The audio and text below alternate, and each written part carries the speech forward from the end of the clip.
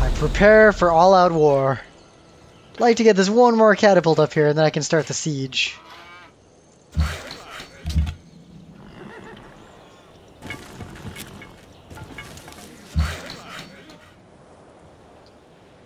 Otherwise, just completing my domestic policies, connecting my cities for proper trade routes. Farm would be good here. But equally good is road, because I'm going to have to connect a road to the city I'm about to conquer, and that'll get this catapult there faster. I don't want to move this catapult in yet, because I'll start taking damage. I might be able to just move in and take it all, even without this backup catapult, but I'd rather be sure and have this catapult here, even though he might build a second unit. Just playing this super conservative.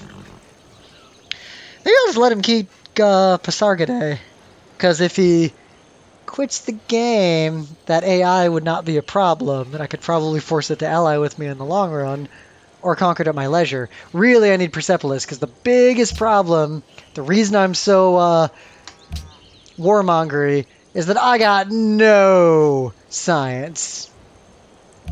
And Persepolis, if you notice, has... Well, I don't know who has the most science, but until recently, Persepolis had the most science. That would be a nice feather in my cap. If I get Persepolis, then I can settle over here. Settle down here, maybe. Maybe. And have this city and this city. And that's a real strong foundation for a long game.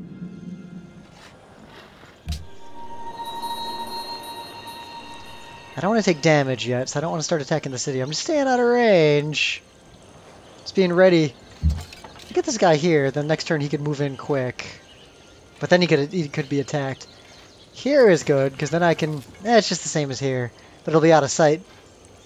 Maybe I can goad him into thinking he can attack me, and then I can fall on those forces. Probably not worth it. Let's just stay where I am. Keep everybody where they are. Be ready for the big old war.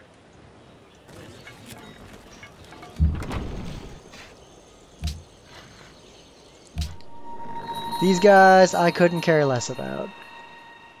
I'll just ignore them. He's not taking this proposal, so I'm just going to withdraw it for now. And everything's coming up Milhouse. I'm being overly cautious, but I feel like once I get the second catapult, I can wheel it over here. Here, here. No, all this rough terrain's in the way. I think I'll put it here, and I'll go patunk, patunk. And then this guy can stand right there, protecting.